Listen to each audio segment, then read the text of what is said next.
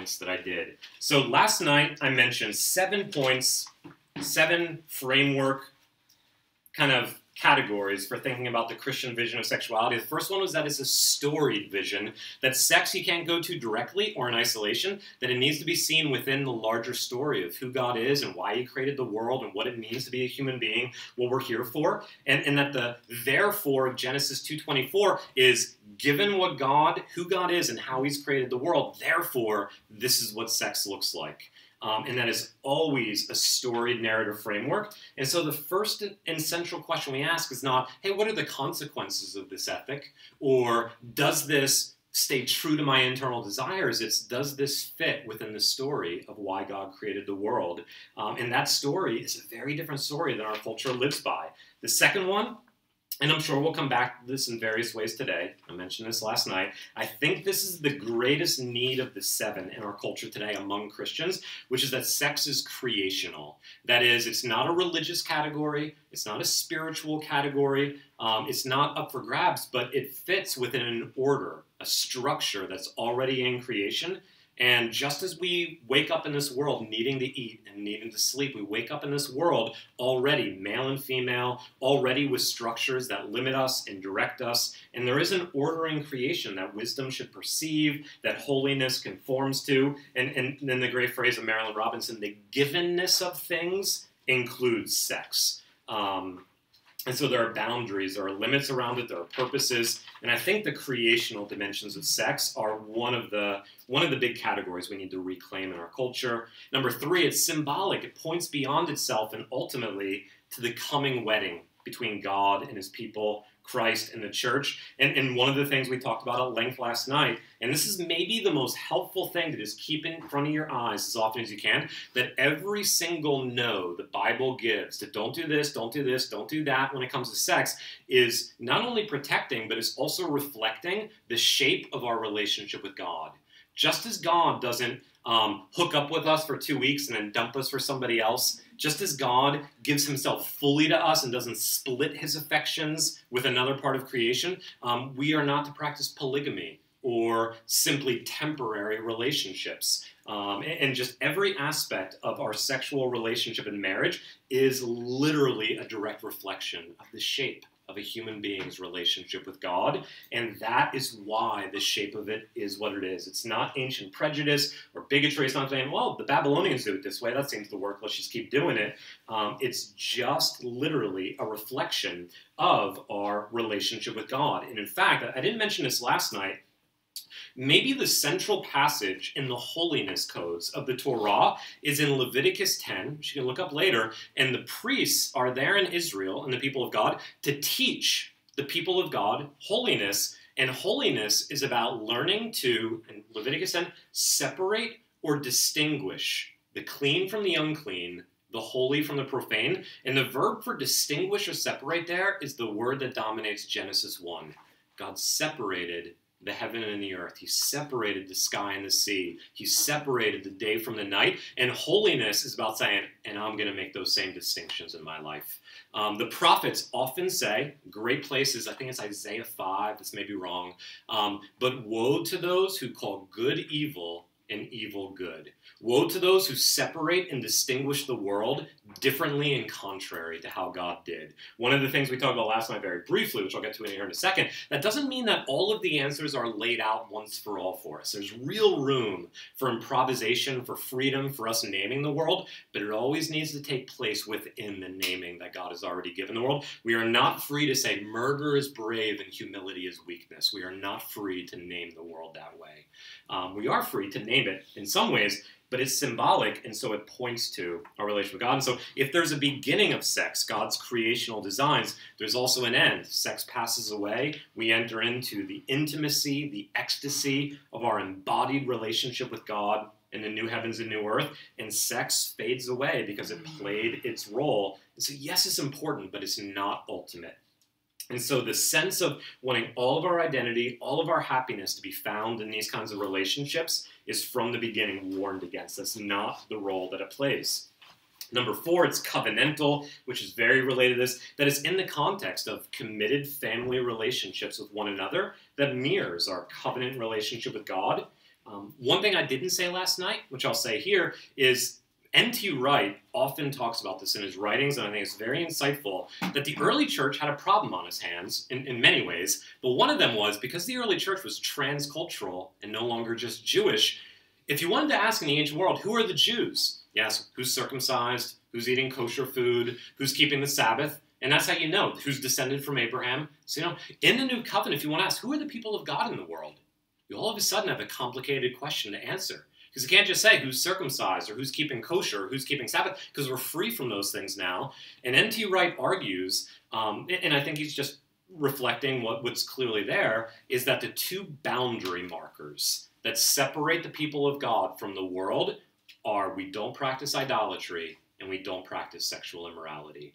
Those are the two biggest obvious sticking points of when you look at a community that's not practicing idolatry and not practicing sexual immorality, they're going to stand out like a sore thumb from everybody else around them. And these are the two boundary markers, which is why I, I don't think I mentioned this last night, but some of you are probably familiar with the New Testament is filled with what's often called vice lists. In Galatians 5, the fruit of the Spirit is this, but the works of the flesh are this, and don't do all these bad things. And if you read all of the 20 or 25 vice lists together, there's so many bad things we're not supposed to do, right? So many bad things. And, sometimes we're like, what does this word even mean? And is it just this word over here but said a different way?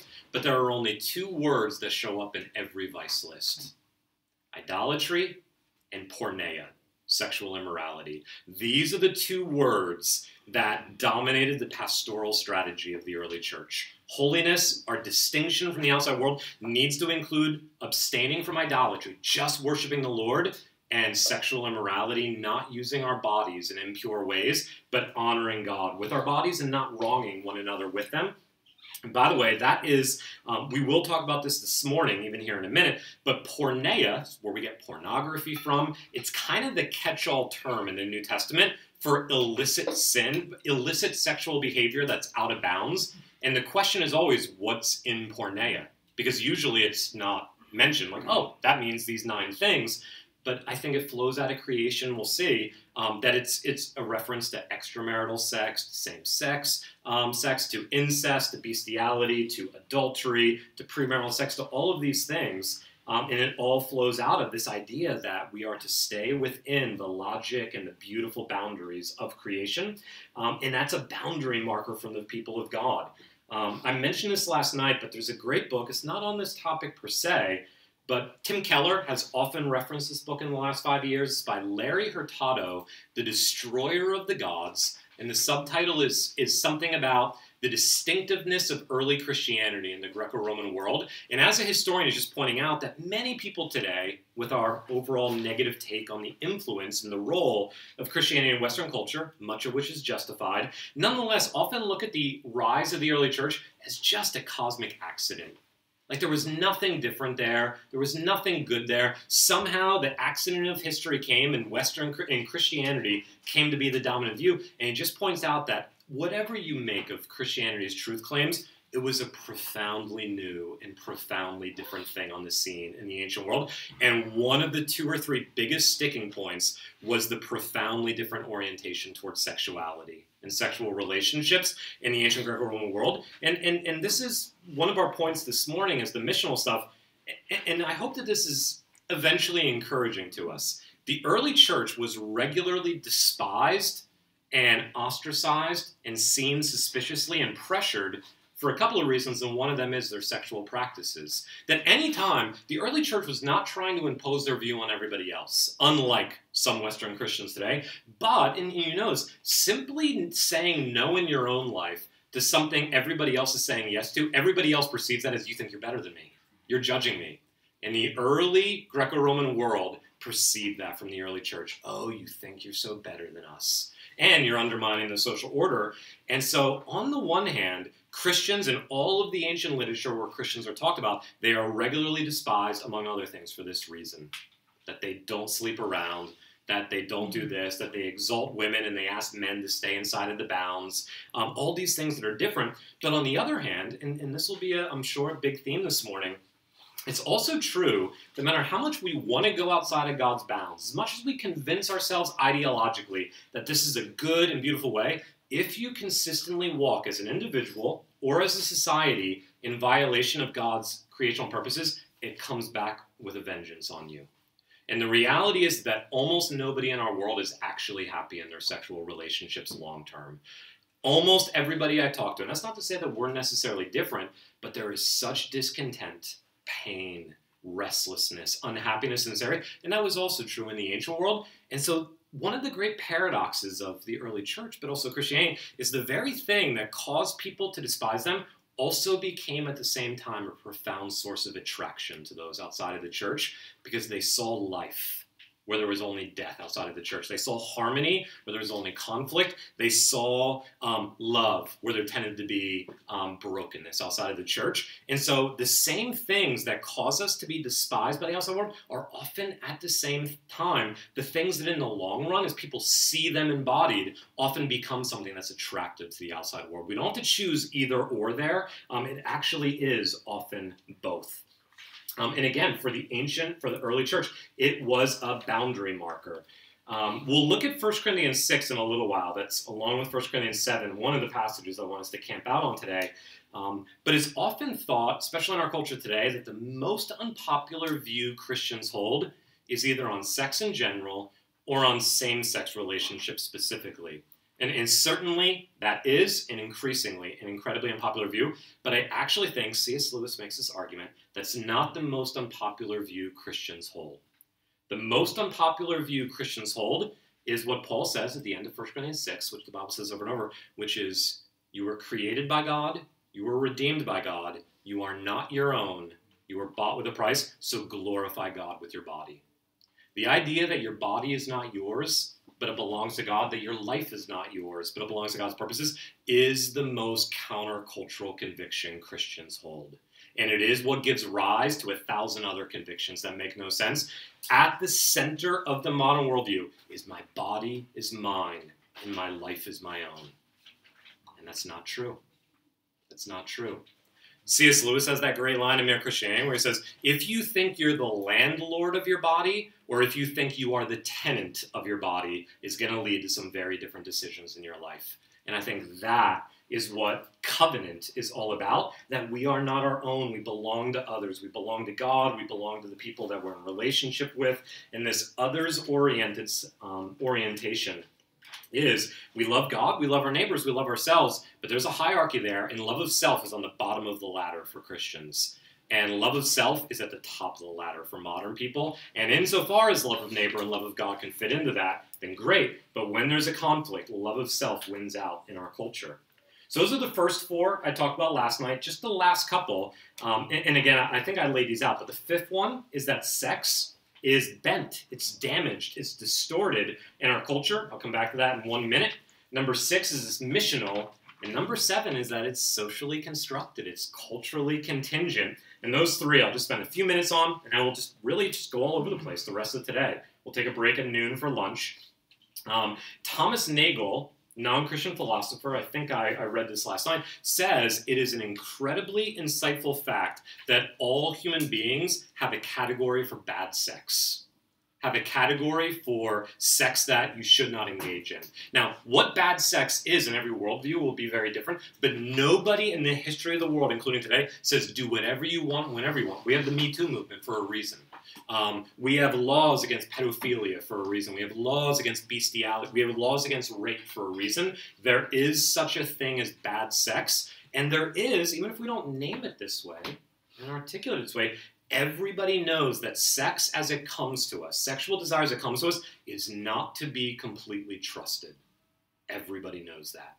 We just either talk about it or don't talk about it, account for it in different ways. And so the fact that there is, again, in the New Testament worldview, porneia, sex that's illicit, sex that is not to be engaged in, is a reference to the fact that the world is no longer only good. It's still good. Our bodies are still good, but it's also bent, it's damaged, it's distorted. And so, just a, a couple of things um, about this, and, and I'll stop after each point and make sure that you guys can jump in with questions, disagreements, thoughts. Um, this includes certainly but it's not exhausted by that your own desires are bent. That's true, but that's not all Christians mean. It also means that your perception of your body and your perception of what sex is for is now clouded by sin, that, that we need God's revelation to speak to us, and that if we just start from our own intuitions, we will go astray. Not just if you just do what you want, you'll go astray, you will, but if you just follow common sense, you will go astray. It's often pointed out that common sense is actually not common, not just in the sense that we all make bad decisions, but in the sense that what counts as common sense in one culture is incredibly different than what it is in another culture. There was a famous, and again, a, a non Christian, which I think is itself um, significant and insightful, very famous sociologist and anthropologist at Princeton in the latter half of the 20th century, Clifford Geertz. And, uh, and he's got a great essay called Common Sense as a Cultural Artifact. And what he means by that is what somebody says, this is just obvious. What you really mean is, I grew up in a culture that taught me to do this, but it's not obvious. It's not common sense. One of the biggest mistakes I think our culture makes is the level of trust we give to our intuitions. Um, it has been part of the story of sex and romance for a long time in Western culture. Just follow your heart, let your conscience be your guide. Um, and that goes astray far more often than we like to think.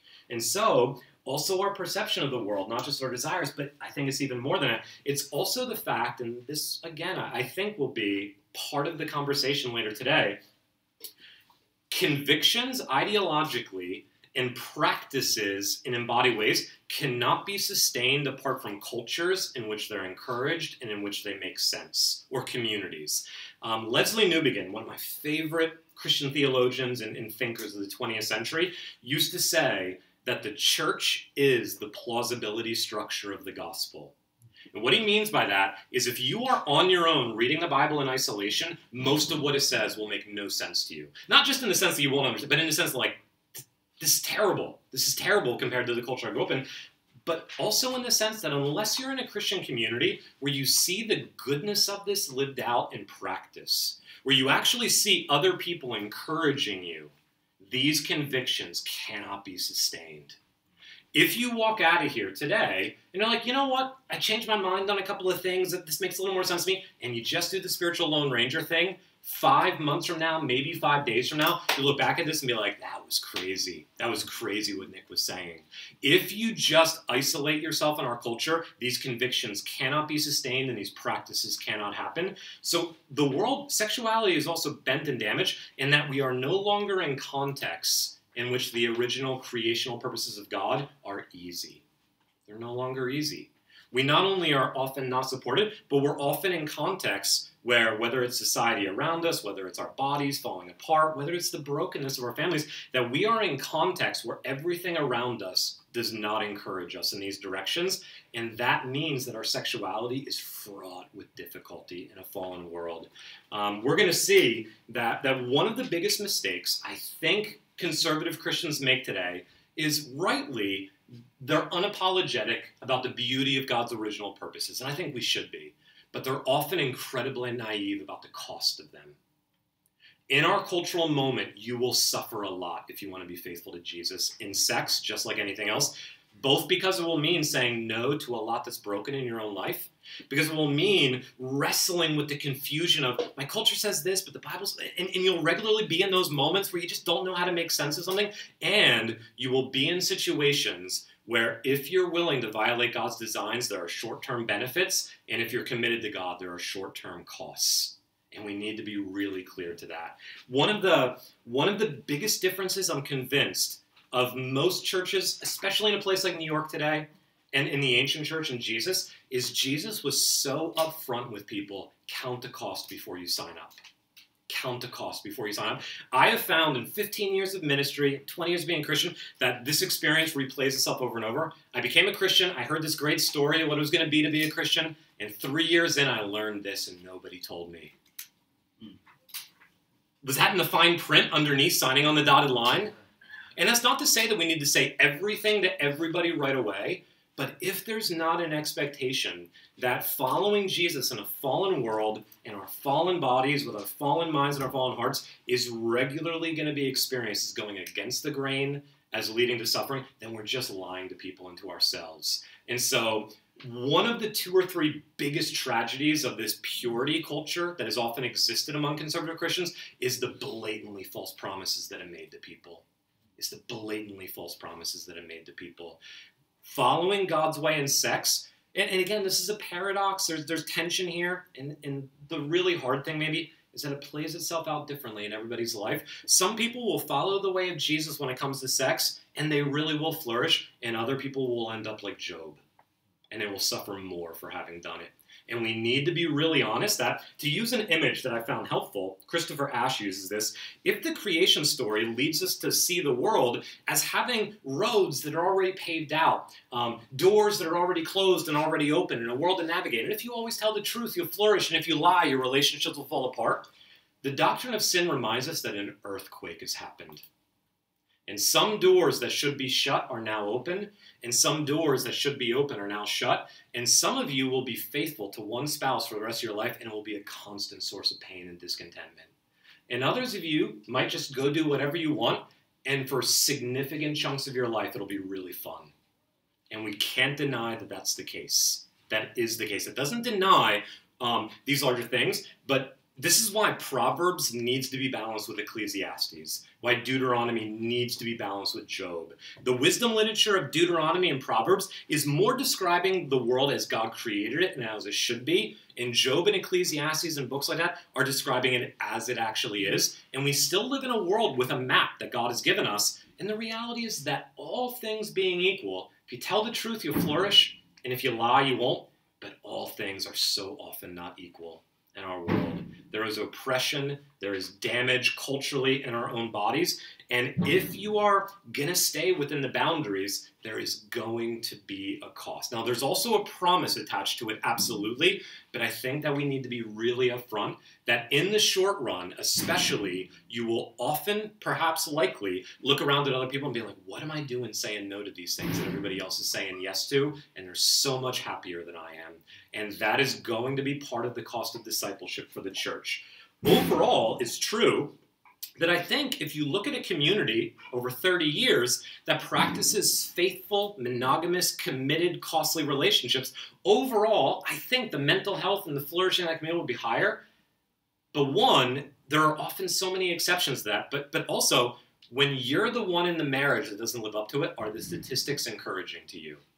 No. And if we don't have a story that narrates that for people ahead of time, we are setting people up to be disgruntled with the Christian story. And I think that's part of why Christians are often disgruntled is I was told a story that my experience has denied. Um, and, and one of the things we will talk about a little later is that gap. The gap between the way God created the world and the way it is. The way it should be and the way I actually experience it in my story. And, and, and maybe to throw this out, some of you have heard me put it this way before one of the many things that I think liberals and conservatives actually have in common in our culture is that they are incredibly overconfident in not only the truth of their position, but in the goodness of the consequences of their position. And liberals and conservatives tend to be in our culture, whether religiously, politically, whatever, um, incredibly committed to never being uncomfortable incredibly committed to never being uncomfortable. And, and the proper biblical response to the gap between what is and what should be, between God's designs and our fallen experience, is lament. And I know this is going a little off topic, but there is no way to have a healthy sexuality in the long term without lament being really central to your life. If you are going to say, as many conservative Christians do, well, I'm actually experiencing ruin and catastrophe as I'm faithful to God, but la la la la la, it's actually amazing, it's actually amazing and you just constantly deny your experience, you are either going to be incredibly schizophrenic or you're going to finally just leave the faith at some point. Or you say, well, I followed Jesus and five minutes in, my experience isn't paying off, and so I'm just going to trust my experience. Your experience is not obvious, even if you think Christianity is not true, and it doesn't come with built in instructions. The tension between faith and experience, revelation and, and, and, and our experience of the modern world, there is a tension between those things. And what liberals and conservatives will each equally tempt you to is to deny that there's a tension to just choose one side over the other. And lament is the refusal to choose and to stay in the midst of the tension and to trust God even while calling out, Why is this so broken, God, if you're good?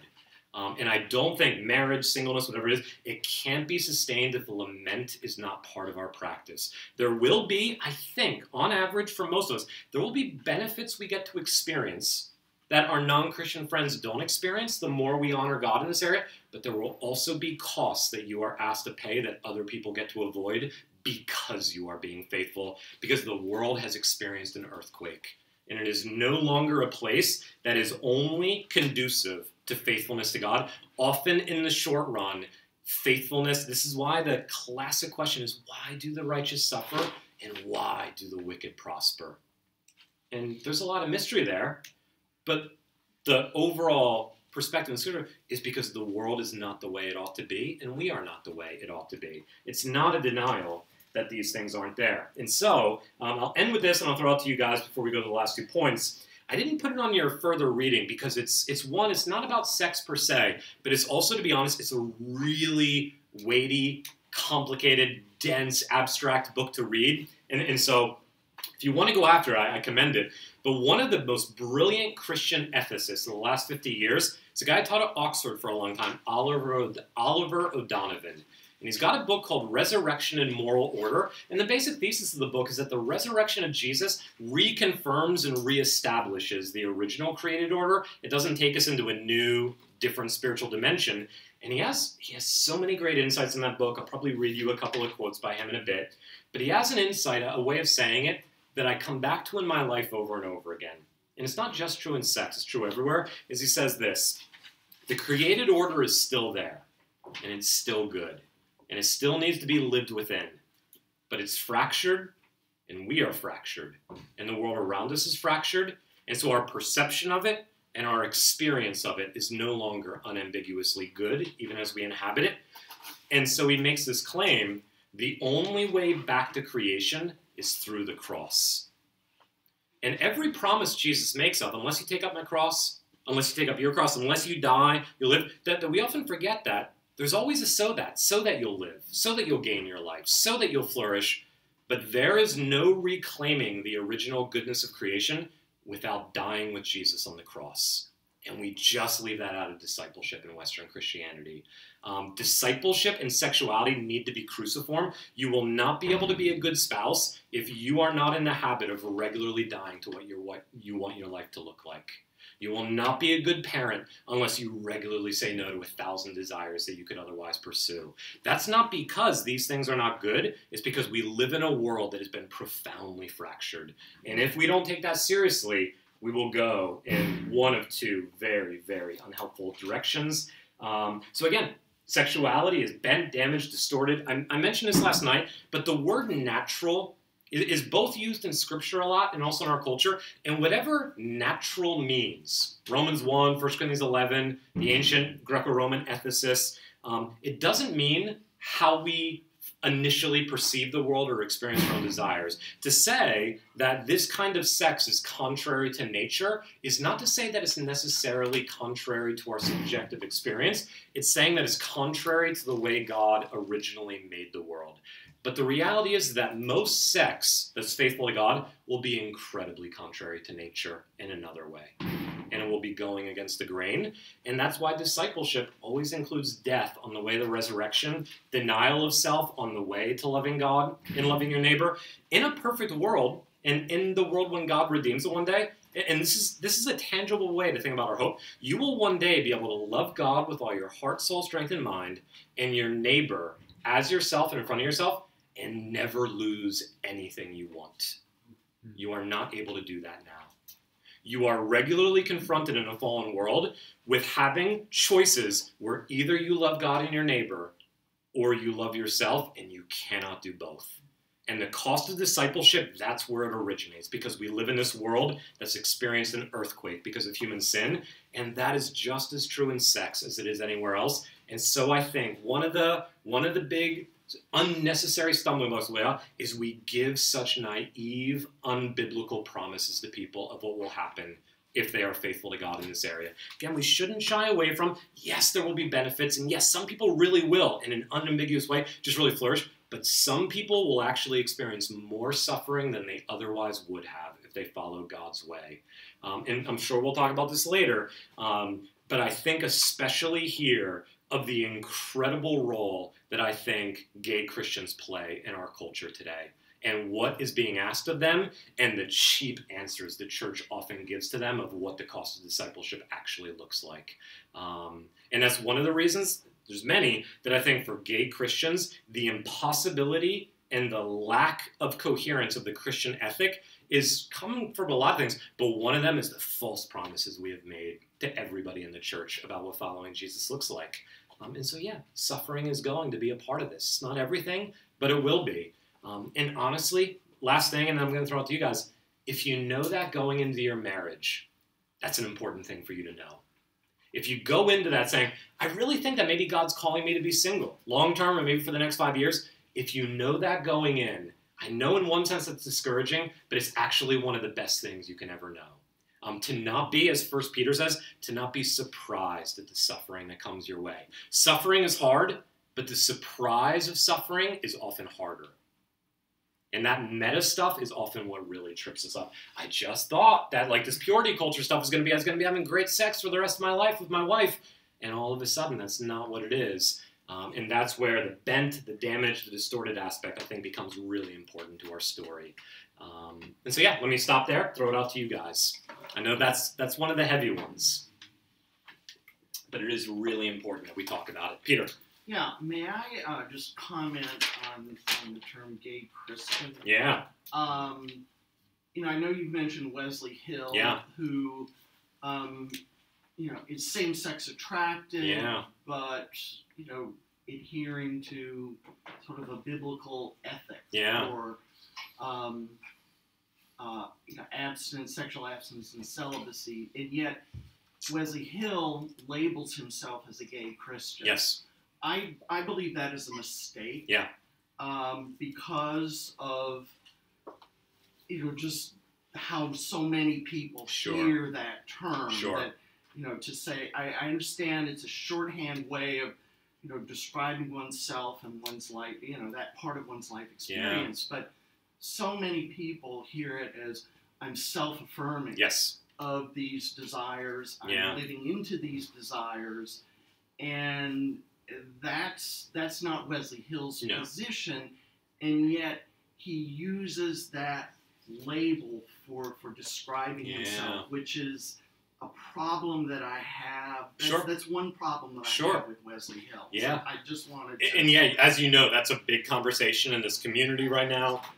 As as um, because again, I think it's probably fair to say that for all of the challenges of our cultural moment, one of the long term benefits is the church is having to wrestle with this in specific pastoral, practical ways, maybe for the first time ever. And this is one of the debates, which is what language do we use for people who seem to experience intractable, un um, can't be reoriented in new directions sexual desires towards someone of the same gender, but who's committed to the traditional sex ethic. And, and to be blatant, the pray the gay away just doesn't work.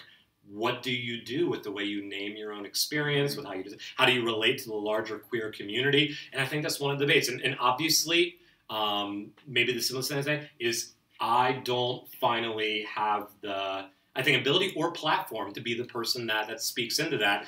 I, I think maybe the briefs that I think I understand your perspective and I understand Wesley's perspective. And, and for those of you who don't know what I'm talking about, I'll mention some books if you want to read this. And, and Wesley Hill is a good friend of mine from grad school, has never been attracted to women, is an incredibly faithful, teaches theology at a seminary, brilliant theologian, wrote a great book called Washed and Waiting, which is his autobiography, and then a later book called Spiritual Friendship. And one of the first things I would encourage you to do if you want to get into this more is there's an online community of various LGBTQ on the spectrum Christians in their experience, but who are committed to the historic view of the church called Spiritual Friendship Online. And this is always one of the big debates. Um, and and I think there's also uh, there are reasons that I think, given our cultural moment, that it also makes sense to me um, to not immediately distance yourself from the experience. But yeah, but ultimately, I'm I'm speaking from the cheap seats, and so yeah, yeah, I just just quick follow up. yeah, go I- for it. I think it it creates less confusion. Yep. um, especially in the minds of fellow Christians, you know, for someone of that experience to describe oneself as Yeah. uh, same-sex attracted Yeah. as opposed to gay. Yeah. Because gay is taken on a whole political. There's That is all this true. political Yeah. baggage Yeah. that's attached to the term gay, whereas Yeah. same-sex attracted, Yeah. it you know it, Yep. it, it communicates information. Yeah. but There's a there's challenges in either a- direction. yeah, Yeah. a, apolitical, Yeah. neutral way. So Yeah, there is a sense in which, and, and we'll come back to this because I do want to speak about whether this is where we're coming from in our experience or we're all in churches where this is an issue for so many of our brothers and sisters, and all of you have friends and coworkers and family members. And so, how do we practically pastorally walk through this? And we'll talk about that a little later. But I think there is a sense in which this question is a subset of the larger question of once a word that's important, whether in a negative way or a positive way, begins to mean multiple things to different people. Like, do we still use the word evangelical? Um, love means a billion things. Do, do we still use the word love? Um, and there's always the question of do we reclaim it or do we ditch it and come up with a new one? And if you ditch it and come up with a new one, then somebody else is going to misuse it and then you're going to ditch it again. And so I don't think there's ever an easy way forward when it comes to the ambiguity of, of labels and words and things like that. But yeah, it, it is it is an important way of how do you name your own experience and who you are when on the one hand you're following Jesus, but on the other hand, these experiences and desires continue to be a part of your fallen experience of the world. Um, and when you're also living in a cultural context where language like this is increasingly used for anybody who fits this kind of profile, and yeah, that's it's a really complicated discussion. Yeah, I do think for for all of us, one of the things in our prayer, in our emotional relational support, I think these kinds of communities where Christians who do experience very significant same-sex desires and are wrestling over not just what do we believe about this, but but how do we sustain a long-term faithful discipleship when all the church seems to be saying to us historically is, by the way, here's a list of 17 things you can never do. See you later. It's like, good luck with that. Um, and the reality is, is um, is unless the church is a kind of community that can sustain not just for people on the queer spectrum, but single people, people in really hard, unsatisfying marriages, unless we're a community can actually sustain the support of being able to still engage in the world, even when this has not only been satisfying to you, but has actually failed you, this area of your life, then at the end of the day, we're just talking ideology. Um, nobody consistently, on average, is going to be doing this stuff. Um, and so, yeah, yeah, we'll talk about that a little while more. It's good. Other questions, other thoughts about, yeah, Chelsea. Um, related to purity culture, I think like one of the damaging effect, effects of purity culture could be like shame Yeah. in sex in marriage. I think particularly for women, like like being told up until marriage, like you know, just don't think about it, don't do it, don't Yeah. talk about it, and then Yeah. all of a sudden it's beautiful. Yeah. Um, like my question is, how would you counsel people who are single practically to like acknowledge that we're sexual beings Yeah. without like you know participating in Yeah. It's a great question. I remember when I was in college, I'd become a Christian. I, I knew a girl in my college. I think she was a year ahead of me, and she had grown up. I mean, she grew up in New Jersey, but she grew up in like a really fundamentalist, conservative Christian home. Well, I think she was homeschooled. Everything was the purity culture. I think she had the purity culture ring, all that stuff. And she started dating a guy seriously. First relationship ever she had. And I remember as I got close to engagement that that there were a small group of us hanging out late one night, um, and she just made the comment that I find it really hard to think about having sex with Zach once we get married in a positive way. Because my entire life has been this is dirty, this is awful, this is something that you should absolutely feel shame if you're experiencing these desires now. And so, yeah, I just remember for the first time being like, whoa. Like, yeah, what would you do with that if your habits have actually been trained to respond with repulsion and negativity to this area of your life?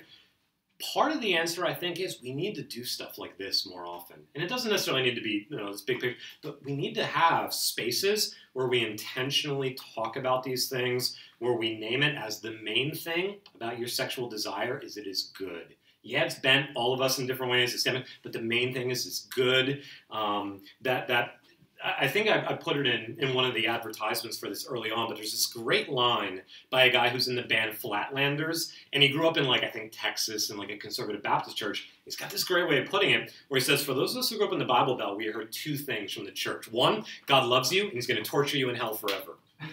Two, sex is dirty and it's awful and it's nasty, and you should save it for the one that you love. Um, and then he says, and you wonder why we're all crazy. Um, and it really is true that part of it is is just this. If Scot McKnight has a great line where he says the gospel for most Christians begins in Genesis three and it ends in Revelation twenty. that it starts with you're a terrible sinner and you deserve to go to hell, but Jesus died for you and you're going to heaven when you die. In creation and new creation, it starts at sin and it ends at final judgment. And the original goodness and the reclamation of the original goodness are left out. And I think a simple way to put it is we got to start with the goodness of creation, sexuality, the image of God. We've got to end with, and it points to something beyond itself that's good that we're all leading to. We need to have spaces for it. I know this isn't specifically your question, but I wanted to go here later on, and maybe we can do this more. But but I would I would take it even one step further.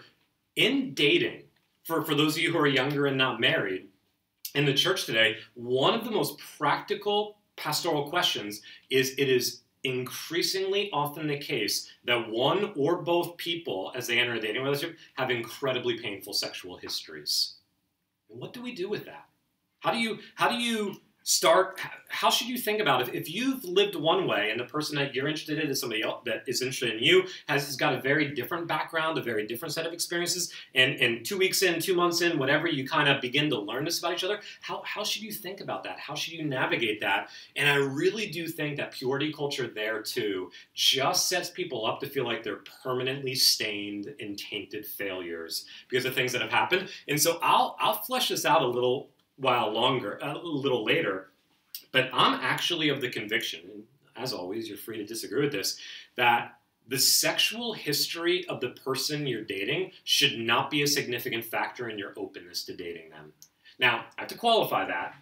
What I, I don't mean that if they've been sleeping around for 10 years and they've been doing it until two days ago and you meet them, yes, that should be a factor.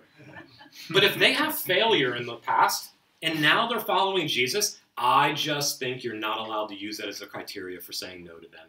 I think that's a denial of the gospel. I just think you're relating to somebody in a way that God doesn't relate to us. Um, and so that would be another manifestation of we need to talk about um, our stories as if we really are sinners saved by grace, all of us, and not just some of us are sinners and the rest of us are kind of pure. And purity culture erects a distinction between the righteous and the wicked on a basis other than the gospel. Um, and so that requires a lot of pastoral wisdom, but I think the ways we talk about this and really talking practically in such a way where we name all of our experiences as failure, as sin, as outside of God's purposes, and we need grace to stand before God and one another. Um, and yeah, I think has a lot of connotations long term. So we can come back to this. Um, go for it. So I'm uninformed. Can you define what purity culture means? So purity culture, and because I didn't grow up in the church, it's it's mostly secondhand for me. But it's uh, who's the guy who just walked away from the faith? Josh Harris. Kiss dating. I kiss dating goodbye. It's like often dating is seen negatively courtship is better. Um, often wearing purity rings and making promises that you're not going to have sex until you get married. And often, and, and again, I'm sure that there's good stuff in this culture too. I don't want to go to the other direction and say it's all bad, but often motivated by very explicit, elaborate promises of how fantastic your marriage and your sexual life is going to be if your premarital stage of life is faithful to God's purposes and just a movement. And again, understandably, in our cultural context where premarital sex is so ubiquitous, but just a way um, to try to shepherd young Christians towards purity before they get to marriage, but with some very, very harmful sociological and theological ways that it came about. Yeah. Go for it, Jess.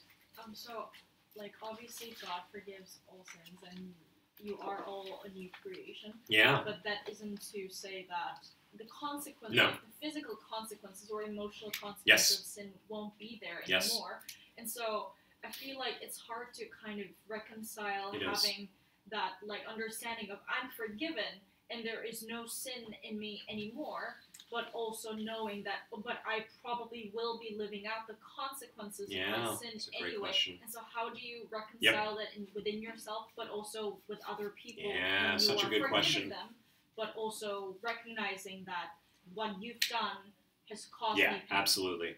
Yeah, and that is the danger of the view I just held, which is you could be naive the other way, be like, hey, we're forgiven. There's no history here anymore. And yeah, you're right. There are consequences.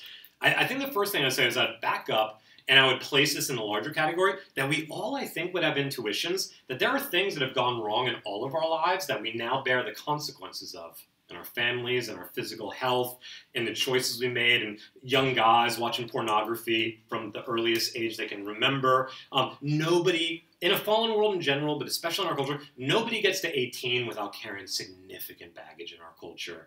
And we all have it. And i think we would all have a sense that like some forms of that would be incredibly judgmental and puritanical and self-righteous to be like oh that's what you experienced and you're like oh you you struggle with depression a little? Oh i'm not going to date you. That, that i think we would all have a sense that like if we're walking through the world like that we're just relating to each other on another basis than the gospel. But i would also say this if you're dating someone who experiences regular depression, you should be really realistic about what that might look like in the future. If you're dating someone who was abused as a child, or if you were abused as a child and it's very difficult for sexual desire to be experienced in a positive way, that should not be the reason you say no to somebody. I really think it shouldn't be, but there should be a real awareness of, okay, so this is going to be one of our sets of challenges that we uniquely have, like somebody else has here, and I really don't don't think that Christians should engage, and we'll talk about this later. I don't think we should buy into the ideology ideology of the consumeristic. You know, dating is me looking for the best possible combination of maximally good experiences and avoiding suffering.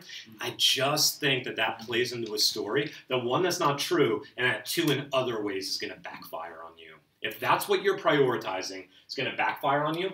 Um, I do think that that ultimately, and, and, we'll talk about this this afternoon as well. I do think there's real freedom in dating. There's not just right and wrong. There are wrong for sure. People you shouldn't date, people you shouldn't marry, but there's not a right person. Um, this problem is why there is no such thing as a soulmate. Um, there's not one person that's right for you. Um, it's not the role that marriage plays. And you do have real freedom to say, even though this person is a faithful Christian here, I don't have to marry them just because they're a faithful Christian. Absolutely. I would just say, and again, that there's there's a subjective art to this. It's not just a science objectively. But I, I really think that the criteria should be do they love God and do they love their neighbor? Not the shape in which their experience comes in its particular manifestations. Um, within that, I think there is some freedom, um, but I think the criteria we're using in dating should be criteria that flows out of the gospel. And the reality is that the decisions a lot of us make with dating, we would be horrified if God related to us that way. We'd be horrified if God related us that way. Yes, ma'am. Um, I, I know you said that there's danger with the puritanical culture, but I was wondering what is the alternative? I, I wasn't here last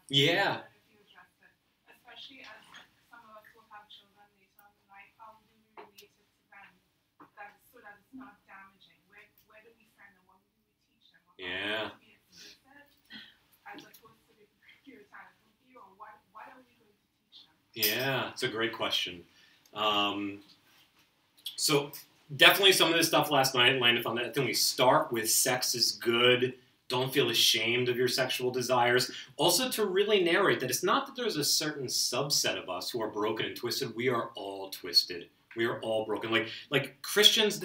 Some of you have heard this. There's this great quote from Martin Luther, which often can be taken out of context when he says two things: sin boldly and believe in Christ more boldly still. And what he means by that is not go out and have fun and then feel sorry for it later, which can sound like that. What he means is that when most of us describe ourselves as sinners, we're just giving lip service to that.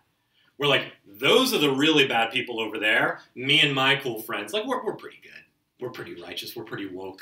And whether you're conservative or liberal, we all kind of do that. We draw the distinction between the righteous and the wicked in completely different places than God does. Um, and no one is righteous, no, not one, also needs to be a part of how we raise our kids that all of us are broken in different ways, and to just give ourselves categories from that to name our experience early on. And certainly, um, this goes back to something that, that Erica asked earlier I, uh, about the family, the biological family, and the church. I'd also say this that yes, the biological family is important, but some conservative Christians often describe the family as if it's the primary place of worship, the primary place of discipleship, the primary place of education, which is why some Christians are really, really um, kind of obsessive about private school, homeschool, stuff like that. And it's fine to homeschool your kids. Public school system, I came through it. It's no picnic in the park. I'm, I'm not, you know, you know, idealistic about that. But nonetheless, the local church is the primary forum of the discipleship of your children, not the family.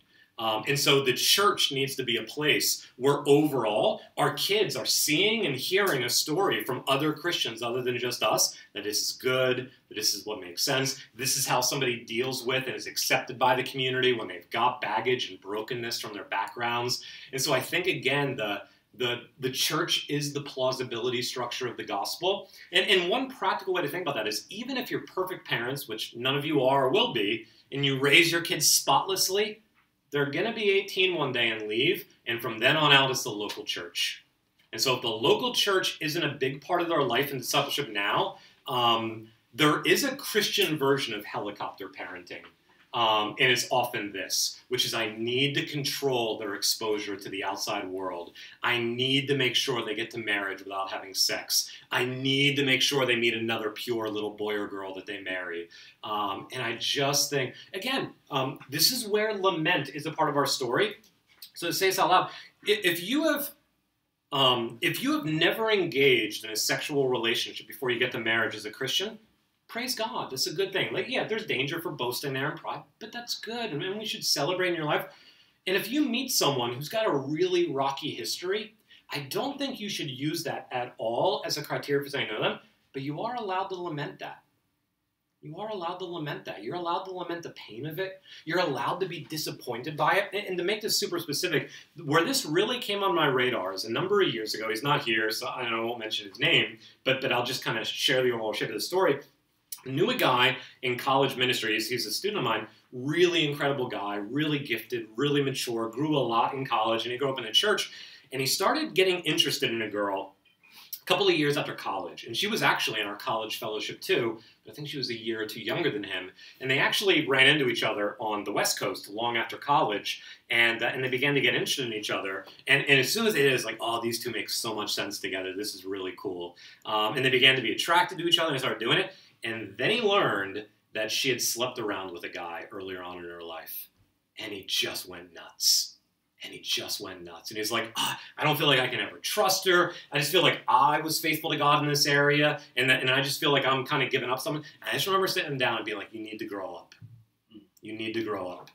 That this is not, this woman has been following Jesus for years. She is faithful. She is incredibly beautiful and gifted and funny and intelligent and loves God. And you are not allowed to say no to her because of this, because God will never say no to you for that. Now, again, if she had engaged in a long history of doing this and it ended two minutes before their first date, then wisdom means yes, it's not time, but that's wisdom, not you're eternally outside of the realm of the righteous, whereas I am inside of it. And so wisdom should be a category here, but I don't think, and again, this is where it's super practical. There are, all things being equal, very few young people in our churches today who are showing up to dating with a clean history, who are showing up to marriage with a clean history. Maybe that's always been true. And, and to some degree, of course it is. But in terms of how explicit our culture is, it is very rare for people to get to their mid 20s and to not have really complicated histories, even if they grow up in the church. And that we need to just be realistic about that pastorally. Um, maybe a church culture arises in the years and decades to come where people who grow up in the church in a way that's healthier than the purity culture of old are able to actually be discipled here and it's a little sorry but right now even if you grew up in the church the last thing you want somebody to know on your first date is your internet history, right? Especially if you're a guy. Um, what has happened in dating relationships? Like, this is where people show up in their early to mid 20s in dating relationships. And that doesn't mean that that's their destiny for the future, not at all. But if we're just saying, hey, wait around for the one person who doesn't have a damaged history, one, you're just asking most Christians to stay single forever. But two, we're just living by a different story than the gospel story just living by a different story than the gospel story. Um, and so again, I don't at all want to play down the pain of this. One, there's there's freedom to lament, um, but don't build your marriage on another foundation than the gospel. Because even if you've shown up in marriage without significant failure in there's going to be failure later on. Maybe not in this area, but in other areas. and you're gonna have to relate to each other in response to that failure. Um, and, and again, this this kind of gets into some of the stuff we'll do this afternoon with dating. But here's here's a little practical piece of advice of connecting the gospel to our actual practice that I increasingly find helpful for students. Even very faithful young Christians, I find are often doing this, which is they're living by a different story in their dating life than they're going to live by in their marriage. And that can look like 10 different things. And then they just kind of expect they get married. All the old habits are going to go away and the new habits are just going to be born. So we're dating, and we're both like elite Ivy League educated backgrounds. And we're both throughout our mid to late 20s putting our jobs first and working 80 hours a week. And we're just dating long distance and we give each other like two hours a week. And then we're going to get married when we're 28 and it's all going to change. It's like you are creating habits where everything else but your relationship is number one. And you shouldn't do that. You are creating habits where the local church is secondary. When I get to my 30s and I settle down, then going to church on a regular basis, up like part of dating should be actually constructing the habits that we will take into marriage, not saying, well, it's not marriage, we can do something else. Certainly that's not true sexually, but I think it's also true in these other areas. Again, we need a lot of wisdom. Dating two weeks in should be different than dating a year in, for sure. Um, but we should, dating really should be preparation for marriage and and you shouldn't ideally get to marriage and just have to spend the first few years of your marriage just tearing down all of the habits that you had in your dating relationship. And again that's that's a little more blatant when it comes to sex but with the idolatry of jobs with the centralization of education being more important than anything else with finances with a lot of stuff um, we live by different stories before we get married and then we think we can just switch as soon as we get married that's not true. And again, this is something that we talked about last night, but the one flesh relationship of marriage means that under God, your spouse now is, for the rest of your life, more important than your job, more important than where you live, more important than how much money you have, more important than grad school, more important than your kids, more important than anybody else. And dating should begin to move in those directions. Um, some of the most heartbreaking situations I've seen is when two faithful Christians are dating and they're living by that other. And, and I've been working with Harvard students, Columbia students. I know it's a, a, a, bit more of an extreme, but everybody, especially in a room like this in New York City, we all live by different stories with our careers, with our education, with our money. And then we just want to switch it later on. Um, and I think even earlier on, you can live your life in such a way where if you do want to get married, you can make space for that even now. You can make space for that even now. Um, one of the hardest things is when two people have completely planned out their lives before they start dating, and then they get angry at each other because the other person isn't bending the way they want. And that they're having to bend things that they just built their entire identity and hope on. Um, and we'll talk about that a little later on. What criteria do you use once you're in a relationship, dating, marriage, of if this really is more important than both of our jobs and where we want to live and how much money we have and what we do here, what criteria do we use when, again, in a fallen world, there are so often catch 22 lose lose situations? And we often and i would say this is is maybe your generation's version of purity culture. You are gonna have to sacrifice in your job you are going to have to sacrifice where you want to live. You are going to have to sacrifice what your weekly routine looks like. Your marriage, if you want to get married, is going to interrupt what you want your life to look like if that person wasn't there. And we often have this I can have my cake and eat it too. And that's maybe your generation's version of the purity culture. I can have everything the culture promised me as an elite, educated young person in an urban center, and I can get married. And you can't. Not if you want to have a good marriage. Um, and the question becomes, what criteria do you use for where you make those choices along the way? Um, and we'll talk about that a little later on. Other questions, other thoughts? We're going to end here in the next few minutes. Um, do lunch for an hour. Um, I think Kirk will come up in a minute and he'll tell about some places that we can go to. Go out to lunch together, hang out with each other, get to know each other if you don't know each other, continue the conversation, bring food back here, just go take a break, beautiful walk outside, whatever you want. Last two points to end, and then we'll spend the afternoon just again pursuing implications. Sex is missional, number six. And what I mean by this, and, and I mentioned it very briefly last night, is that when we're told, even before sin comes into the story, that it is not good for human beings to be alone, that does not only or mainly mean, man, it's really existentially lonely to be single. It's just really hard. Subjectively, I think that's an implication of it, of the way we're created, but it is not good for man to be alone as a missional statement in Genesis 2. You were created to reflect the image of God, and you cannot do that as a man or a woman by yourself, fully. You were created to rule over the world, to steward it wisely, to subdue it, and to bear fruit and multiply, and to fill the earth with more image bearers and sex is required, gender is required for all those things. So the idea is that from the beginning, and again, I think this is a real countercultural sentiment that our culture doesn't understand, is your sexual desires are not for you alone. They are for the world. Sexual desires in our culture, increasingly, and even families in our culture, often are seen and experienced as a way to escape from the pressures of the world as a way to get away from it, and we turn inward on ourselves. And your home is where you go to escape and to rest and to have a haven. And that's not what the home was for most cultures. The home was kind of the vantage point from which to engage the world in a healthy way. To be able to have hospitality for strangers, to be able to raise children who will be good citizens and good husbands and fathers themselves, to be able to have a place of stability that builds you up for the world. That marriage, yes, it does turn you inward, but it also turns you outward in a new way. And C.S. Lewis has that great line um, where, by the way, in the Four Loves, and, and we'll come to this this afternoon, I'm sure, C.S. Lewis makes the argument, and I just think he's right, that not only is eros, sexual love, not the highest form of love, or not the um, only form of love, but the Christian story makes it clear that friendship is the highest form of love. And I know this is a bit um, perhaps blasphemous to say, or at least trite, but I think, given the Christian story, that Kirk and Barbara will not be married to one another in the life of the world to come. They will still have a relationship with each other, and I think we can actually say they will be closer to each other than they are now, but will also be closer to one another than we are now. Which means our eternal destiny is not to be married to each other, um, which the, the tripartite wants to say, which means that in the Christian story, married couples are actually just friends with benefits. Um, right? That's who we are, right? That's what Christian marriage is, is friends with benefits for a little while. I don't know. Maybe that one isn't how I should say it. Um, but I do think that's what marriage is in the Christian story. Your friends forever, benefits now for a little while. Um, friends with benefits.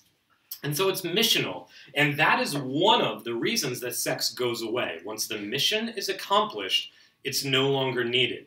And the mission both to reflect God's image and to experience God, but also to populate the earth with image bearers and to have a place from which um, we navigate the world.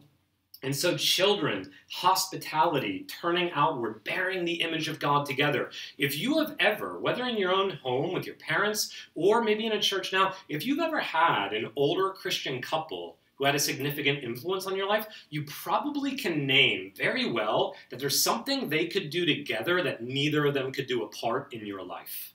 The way they cared for you, the way they related to each other, it brought a dynamic into play that was not there and could not be there when they were separated from each other. That, that Christian marriages should be missional. And again, the way I said it last night is in the Christian story, sex is not just a gift to be enjoyed, it's a task to accomplish. Um, and one of the two or three, same sex marriage is up there, but one of the other big tips of the iceberg that comes to the surface that reveals how different our culture story is on sex is the role of children. Our culture either thinks that children bear no direct organic connection to marriage and to sex, or at its worst, are something to be feared, something that are a threat to your happiness, and a curse. And the reality is that in Scripture, it is a curse not to have children, to be infertile. Um, it is a blessing to have children, and I know that raises all kinds of pastoral, practical questions today. Um, but the reality is that just as God gave birth to us and gave birth to the world, part of bearing His image is that our sexuality allows us to bring new life into the world. And once that mission is over, we won't need that aspect of it anymore. But part of what your sexuality should be is whether you're single, whether you're married, it should be something that sets you towards the world, that sets you to service to others. One way to put it, and then I'll move on last couple of minutes to the last point, is um, there is a sense, and this goes back to something we did last night, there's a sense in which every no the Christian story tells to us on our sexual desires flows out of a prior beautiful good yes. No to this because God said yes to this and that's good, but I think we need to say more than that. If you think about it like visually, there's a yes that gives rise to no's. but I'd also say this, and Wesley Hill is the one who taught me this, and I think it's brilliant, is every no God says to you also has a yes that comes after it. That arises out of the no he has said. And so maybe you get married and you can't have kids, and there's a no there. But there are going to be yeses that flow out of that. Maybe you don't want to be single and you are, and there's a no there. But there's a yes that flows out of that. And one of the things we need to do is to name the no's in our lives as themselves already bearing positive vocations for us. Um, often the no's, they just become no's. Sorry, you can't have fun here like the rest of us do. Sorry, you can't enjoy things the way the rest of us do. But every no, and this is true even when the no itself is just intrinsically bad, like suffering. Um, I'm teaching through Second Corinthians with my grad students this semester. I've certainly seen this in my own life. A lot of the grace that has flowed out of me by God's grace to others, insofar as that's true, has actually arisen in the suffering of my life. And that's often how the gospel works. That it's the no's where new yeses arise. It's the deaths where new resurrection arises. And overall, marriage has this missional framework. And because it only has a subjective happiness framework in our culture, we often can't make sense of how Scripture describes it and, and talks about it. So again, I would just um, say if you want to get married, don't think about it as, as now we get to escape from the world and just gaze into each other's eyes forever. C.S. Lewis, and, and Jess will go to you here in a second. C.S. Lewis is a great image that that lovers, married couples are not just supposed to be face to face, gazing into each other's eyes longingly. They're also to be shoulder to shoulder, going towards the world together. They're your partners to do something in the world, and and that I think is is one of the things our culture has lost. Jess. Um, in terms of the like missional aspect of sex, I, I completely agree. Yeah. Like parenting is a really really beautiful like beautiful aspect of being Yeah. married. But as someone who's always been a really strong advocate of adopting, Yeah. um, I don't. I mean, uh, to the point where I genuinely don't even really see the need for biological kids. Yeah. Um, be, just because I just feel like I mean it part of kind of fits into the narrative of, of like Yeah. being able to like be married and parent, but also being able to extend Yeah. that love to someone who's not your family in a sense. Yep. Um. But so, but would would you consider like just wanting just a, like recommending that Christians just adopt instead of having biological kids, like having a you know like basically having a cake and you know eat it too kind of situation, or what, how, how do you? Oh, it's such a great question. Um, I'm a huge fan of adoption. I, I think that Christians should really, I mean, adoption is central to the gospel story. Um, maybe the most practical way I could start there is I think if you have an intrinsic bias towards uh, adoption, maybe God wants me to do that, but I really want to have my own biological kids, that sentiment very easily becomes idolatry. Um, if you feel like there is a tragedy over your life because there are not going to be people who bear your bloodline after you die, I just think that we're not remembering the gospel story. Stanley Hauerwas has a lot of good stuff on this. And so, yes, I don't, think that anybody needs to feel like they have to adopt, but I'd love for Christians to really consider this. And part of that might actually be choosing not to have biological children so that you can adopt and adopt more. We'll talk about this this afternoon. I, I think we have to be really careful with this one for sure. But I also think that couples have the option, if they feel called by the Lord together, to not have biological children or adopt, but not to be like, oh, now we have a Friday nights free and we can save up even more money for travel the world in these 70 years. That shouldn't be your story, but it could be we can decide. I'm going to front load or, or preview something we'll talk about this afternoon. One of the great needs in the church of this generation, just going to be super honest after 15 years of pastoral ministry and as a guy, one of the great needs of this generation in the church is that young men just need to get discipled. Is that young men just need to get discipled. There are so many more young women who are following Jesus numerically, but also the quality of their discipleship than the young men. And one of the greatest things older guys can do in the church is just be really intentional to get younger guys following Jesus and to disciple them. Some of that is guys are broken in ways women aren't. Some of that is our culture encourages men to be awful in ways that it does not encourage women to be awful. There's lots of reasons for it. But I would say that if you're married, one of the things you could do with your parenting calling is to just disciple a lot of young people in the church that you're a part of, to invite them into your home, to actually spend time with them. Paul was a father, even though he was single. He fathered Timothy and Titus and so many others. Um, but I do think parenting is an intrinsic part of husband and wife. I don't think there is any husband and wife without mother and father being a part of that as part of our calling. but I do think there's freedom for that to look different ways for different people. And again, we can talk practicals this afternoon. How many kids? When do you have kids? What do you do with New York City being expensive and small apartments? It's not easy. Um, but I do think one of the litmus tests should be do we see children as a blessing or as a curse? Do we see them as central to who God has made us to be and the task He's given us, or do we see them as just this optional extra after everything else has gotten sorted out in our lives? And that tends to be a revelation of what story we're actually living in. Um, so, last thing, real quick, and if we need to, we can start with this after lunch. We'll get started right at one and finish at three. Um, that everything in sex is socially constructed. And what I mean by this is last night I mentioned that in Genesis 1, God names everything, but in Genesis 2, he gives us the task and the responsibility. And I would say even the invitation, the permission, the freedom to name things within the world. And, and so, both as a sociological fact, it's true that everything you think, everything you perceive about the world, every moral sentiment you have is socially constructed. None of it came hardwired. None of it could be, none of it has to be that way. All of it could be other. It's because you've been nurtured, your habits have been formed, your vision has been shaped by the culture you grew up in. And that is actually part of what it means to be a human being.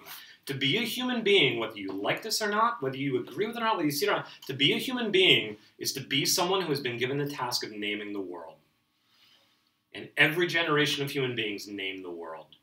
The question becomes do we name it faithfully or do we name it unfaithfully? But we're naming the world. Nobody, this is one of the reasons, one of the many reasons that, not to pick on it too much, but when you run into a church that claims to be biblical, you should always kind of take that with a grain of salt because nobody's simply just regurgitating what Scripture says.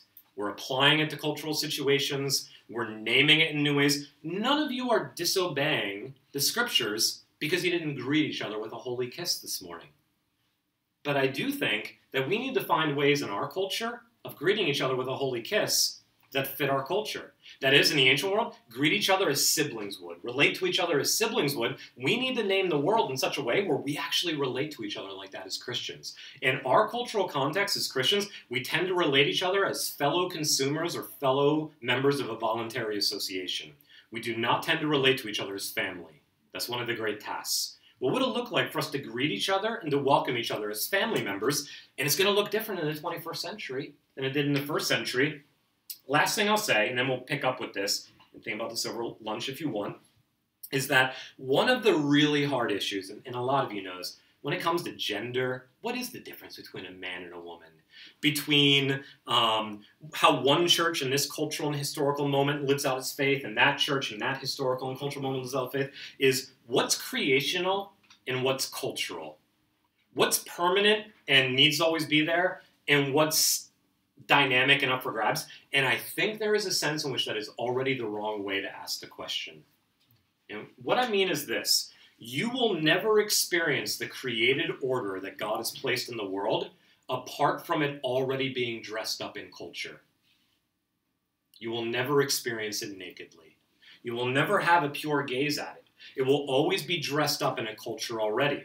And on the other hand, you will never experience culture as anything other than either a faithful act of naming the world or a rebellion against the order that God has placed there.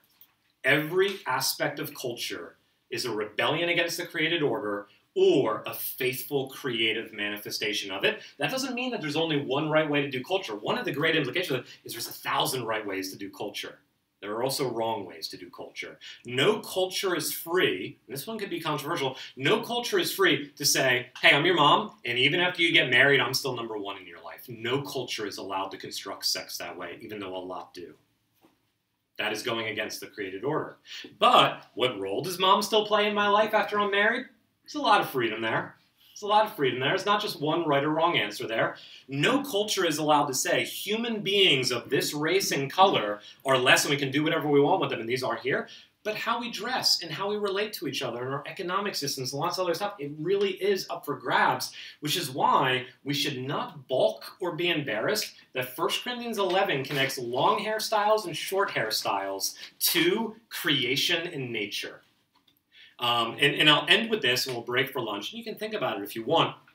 If you're this One of the really hard things, one of the many really hard things about this cultural moment, is that culture is shifting so quickly that you never quite know what the rules actually are. Um, which is actually, I think, one of the most distinctive things about our cultural moment. Culture has never in the history of the world shifted as quickly as it does now.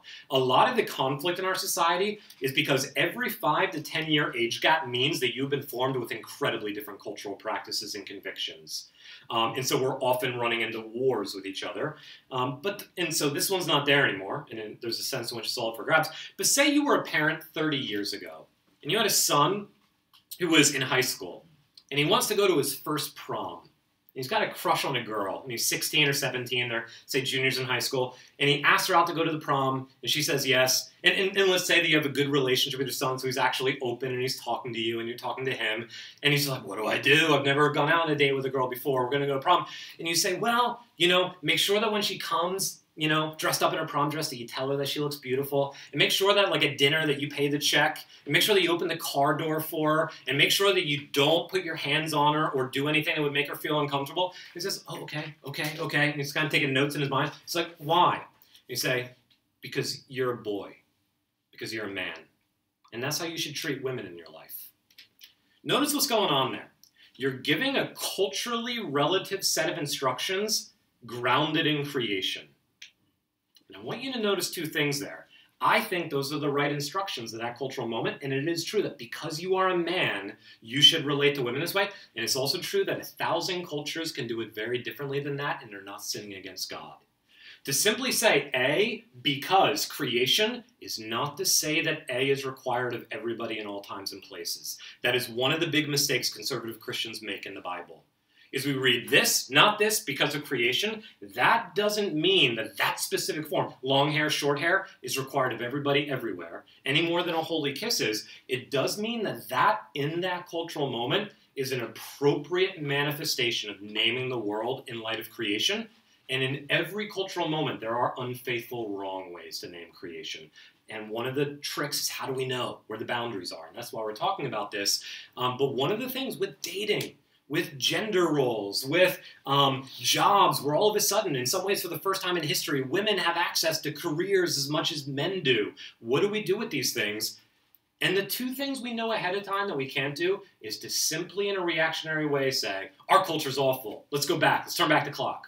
Or, this is all amazing. We're the first human beings to ever be righteous. And we're the only ones to ever be righteous. Both of those, unilaterally approve, unilaterally condemn, is always a mistake. Within the created designs of God, we actually have freedom to name dating practices in this way and not that way. And it's not, as we end, the answers are not right and wrong. There are wrong answers, and there are right answers, but there's multiple right answers. There's here's a faithful creative way to name the world here. Here's a faithful creative way to name the world over here. And I think Adam had freedom to be like zebra, kangaroo, and there wasn't like one right answer ahead of time. But if you looked at one of those animals and said sexual partner, he was naming the world wrongly because God had already named that. And so we name the world within God's naming of the world but God does call us to participate with Him in subduing and ruling over the world. And part of that is having the permission and invitation to name the world along with and under God. And I think some of this, and, and maybe just to name it this way, if you grew up in a conservative Christian environment, or, or, that's where you are not, there's a lot that's good about that. You can probably tell. Ultimately, I am pretty conservative when it comes to sex in a lot of ways, theologically, but there is often an anxiety that conservative Christians have a deep worry, a sense of, oh, I'm, I'm really worried I'm going to make a mistake. And, and that's almost never what it's like. There are boundaries, but within the boundaries, there are a lot of ways to play the game well. There are a lot of ways to play the game well.